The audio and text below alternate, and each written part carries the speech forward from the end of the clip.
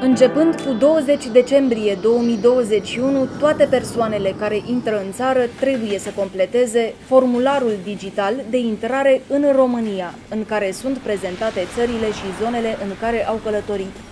Formularul digital poate fi generat electronic prin intermediul platformei plf.gov.ro. Mai întâi vă autentificați pe baza unei adrese de e-mail și apăsați butonul Autentificare. Dacă e-mailul este valid, veți fi informat că s-a trimis un link.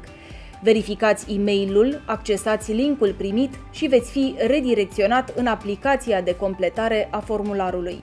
Cum completați formularul?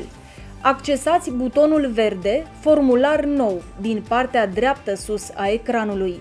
Apoi selectați opțiunea CNP dacă dețineți o carte de identitate din România sau opțiunea Pașaport, act de identitate, dacă prezentați alt document la trecerea frontierei. Ulterior, completați câmpurile obligatorii ale formularului cu numele și prenumele, țara din care ați plecat, data plecării și punctul de trecere a frontierei. În continuare, este necesar să introduceți adresa de destinație. Apoi este necesară completarea numărului de telefon la care puteți fi contactat pe perioada șederii în România. În continuare, selectați modul de călătorie, autoturism, tren, autocar, avion sau vapor și introduceți toate datele necesare în funcție de tipul de transport. Aceste informații le regăsiți pe biletele de călătorie.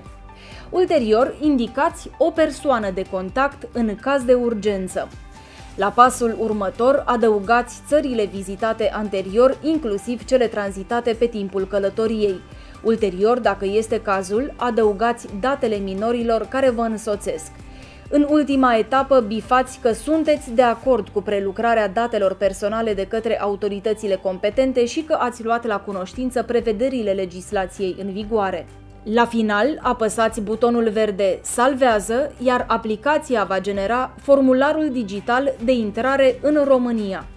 Din meniul Listă formulare puteți vizualiza toate formularele pe care le-ați completat pentru intrarea în țara noastră în ultimele 15 zile.